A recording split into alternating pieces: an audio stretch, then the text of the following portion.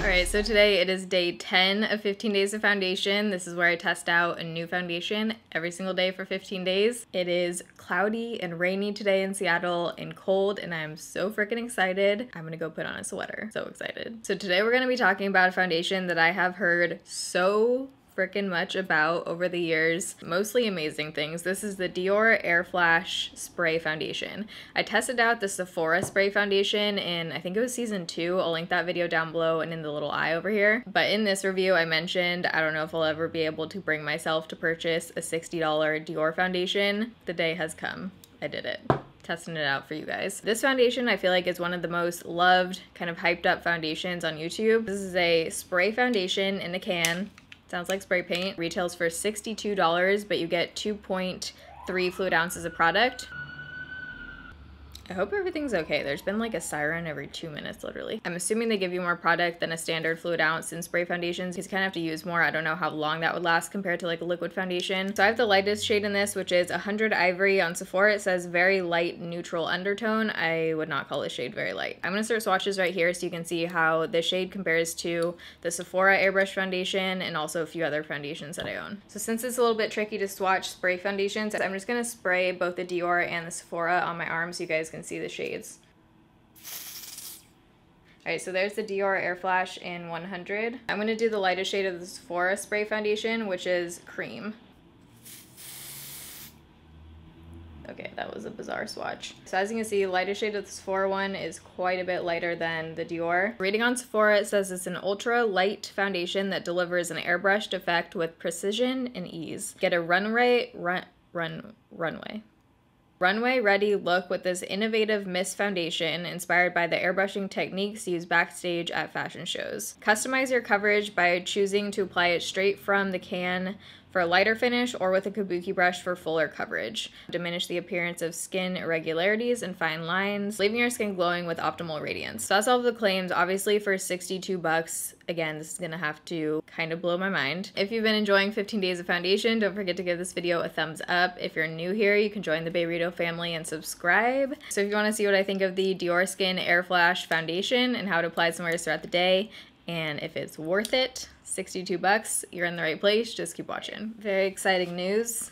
The chin reflector is back. Totally forgot about this with the move, but a lot of the times when in my mirror it looks like my foundation matches and you guys think it's too light, it's because there's a major shadow being cast right here from the lights. So this basically bounces it back. Do you see the difference? No chin reflector, chin reflector. So right now it's 8 46 in the morning. Like I said, I reviewed the Sephora airbrush foundation and in that video I tried spraying it all over my face, tried it with a brush, sponge, and I despise spraying foundation on my face. It basically gets everywhere. It gets on your clothes, gets on your hair. It's not something that I would do on a daily basis or even for like special events because it just gets everywhere. I also have lash extensions on right now, so I feel like spraying all over my face would be not a great idea. So I'm gonna try just spraying like a small area on my cheek and blending it out with a brush it says for fuller coverage to use a brush, and that's what I'm going for. Taking it out of the box.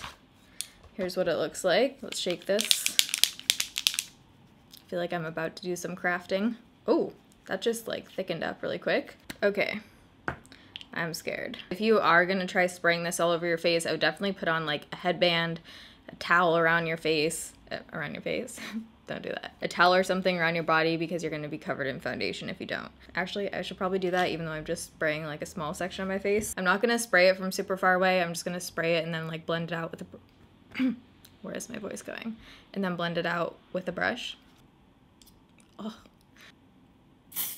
Mm, just got that in my mouth, pretty sure. Okay, I'm gonna blend that out. Whoa, that's a lot of product. Ooh, off the bat, this has much better coverage than the Sephora Airbrush Foundation. Whoa, that looks really nice and smooth. Shade is definitely dark. Hopefully this doesn't oxidize. I feel like it's already oxidizing actually. Did it not just get way darker? For down here on my neck, I'm gonna spray it just directly on the brush. By the way, I'm using my e.l.f. Ultimate Blending Brush, didn't say that. I'm gonna spray it right on the brush.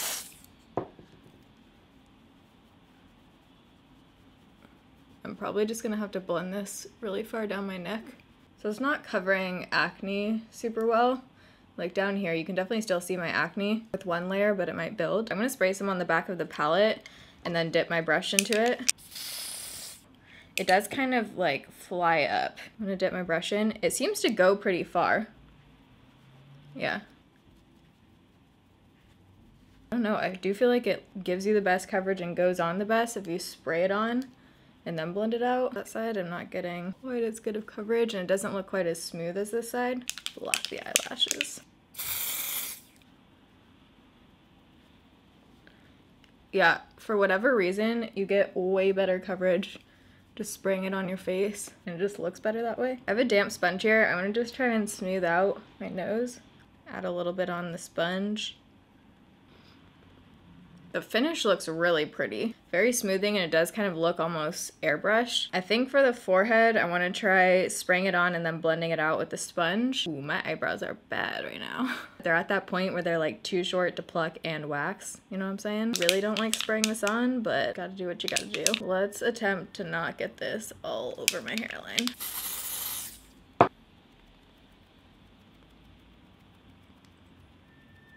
Looks really good on the center of my forehead. Yeah, it looks pretty. I could see how if you didn't have acne or like a lot to cover up, how this would look full coverage. Because on the areas of my face where I don't, it looks really beautiful and it looks pretty full coverage. Where I have all my stuff going on, it's not totally covering it. I'm gonna try and spray some down here and see if we can build it up to cover my acne. But on areas like my forehead, it looks like really great coverage. I'm gonna do the sponge again, I think. It goes really far, like you can see the product kind of spreading there. It is building, still doesn't look like full coverage. So I think if you have acne, this is one that I would probably go in with one layer and then just spot conceal. I don't typically like doing that in foundation videos because then you see concealer and not the foundation, but for today, for testing it out, I'm just gonna leave it like that. But if I was wearing this, I would put it on one layer like this side and then just go in and spot conceal on those spots. If I'm remembering correctly, this doesn't seem to dry quite as fast as the Sephora one, which I like because you have a little bit more time to work with it before it totally like sets down. I think you get about the same coverage with brush and sponge on this one. It's looking beautiful. Foundation is now like down my neck to here. Finish looks like a really pretty satin finish. I am loving the way my forehead looks. My forehead looks super smooth, very like airbrushed so does the rest of my face. It is getting a little bit cakey around my nose area, like my upper lip and nose already are starting to crease and look a little bit heavy, but my chin looks good, cheeks look good. It also feels pretty lightweight. Like it's not one of those foundations that you can feel like when you talk and stuff, it just feels like air.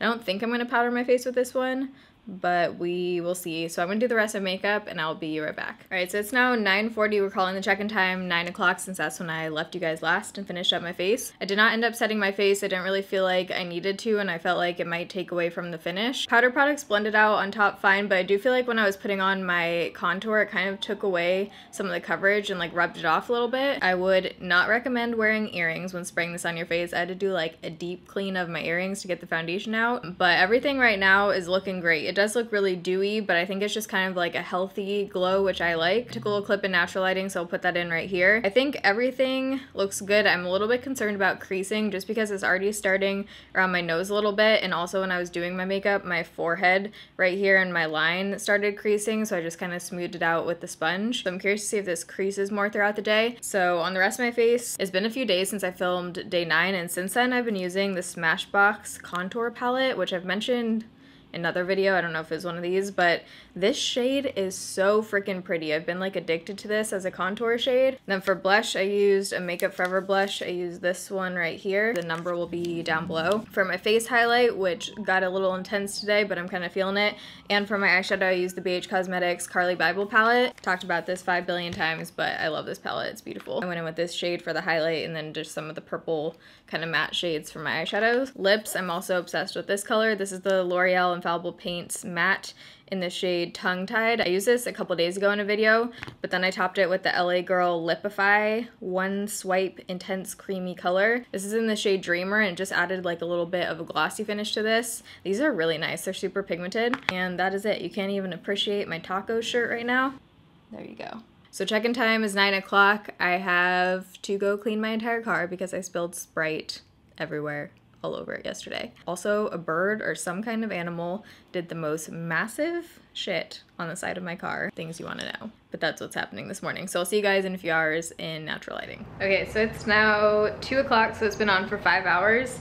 And I just took a look in the mirror. It looks really nice. It looks like very almost natural and soft. It looks really nice and smooth still on the skin. Doesn't look like it's really breaking down anywhere. It looks pretty much like it did. I feel like when I first applied it, I might be getting a little bit oily on the center of my forehead. It's definitely oxidized a couple shades, I feel like, from when I first put it on. So it is way dark. It looks normal in the viewfinder. I don't know how to show you guys how it actually looks. There, that's a little better. Right now I think it looks like a nice medium coverage foundation. I'll see you guys at the end of the night for the last check-in. I just got so freaking hot. Whew. Why did I just start like having a heat flash?